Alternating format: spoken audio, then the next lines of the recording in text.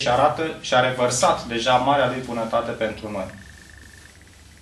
Din poziția de judecător, el ar trebui să decidă ca noi să murim.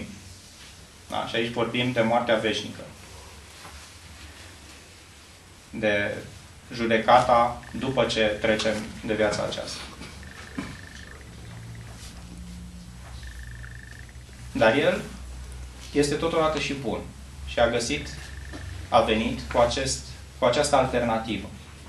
Bunătatea aceasta a lui este însă condiționată de o decizie pe care omul trebuie să o ia. Vedeți? Lumina vine. Bunătatea lui Dumnezeu este. Aici există două drumuri. Drumul A, în care omul acceptă bunătatea lui Dumnezeu și după cum zice Ioan, vine la lumină. Da. Se bucură de bunătatea lui Dumnezeu. Uh, o vede din plin, o trăiește din plin. Varianta B, omul respinge bunătatea lui Dumnezeu și rămâne în întuneric.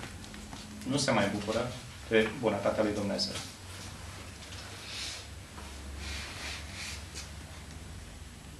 Lucrul acesta nu este secvențial în Biblie, ci este uh, o constantă a naturii lui Dumnezeu.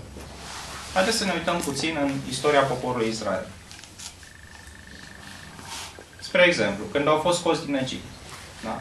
Dumnezeu la un moment dat le-a spus uh, sacrificați un miel, pune sângele deasupra uh, ușii, da? ușiorilor ușii, și dacă acel sânge va fi pus acolo, nu va muri nimeni în casa aceea. Dacă nu va fi acest sânge pus acolo, primul născut va muri. Dumnezeu a fost bun și a arătat bunătatea prin faptul că cei care au ascultat de El nu au pățit nimic. Ce s-a întâmplat cu cei care nu au ascultat chiar și din punct de vedere istoric, este dovedit că a fost acea perioadă în care primii născuți în majoritatea a, Israel, a egiptenilor au murit.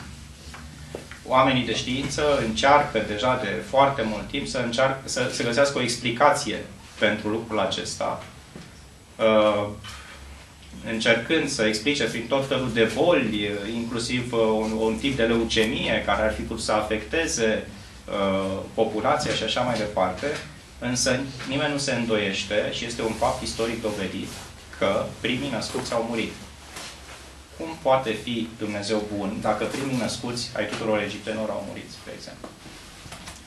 Ce a condiționat bunătatea lui Dumnezeu? Răspunsul este unul singur, ascultarea față de El. Dumnezeu a spus, fă așa. Ai făcut, te-ai bucurat de bunătatea lui Dumnezeu. N-ai făcut, ai suporta consecințele.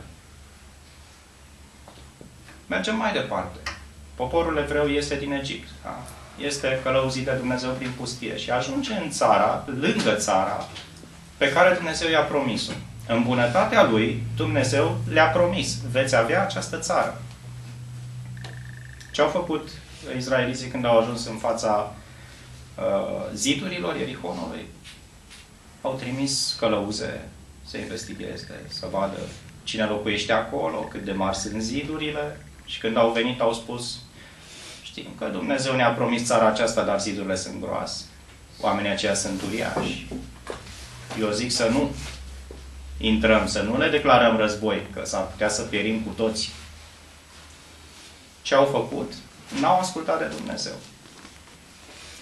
Foarte interesant este că după ce Dumnezeu îi poartă încă 40 de ani prin pustie și îi aduce iarăși în fața Erihonului, locuitorii Erihonului tremurau de frica lor pentru că știau că Dumnezeu le va da țara respectivă.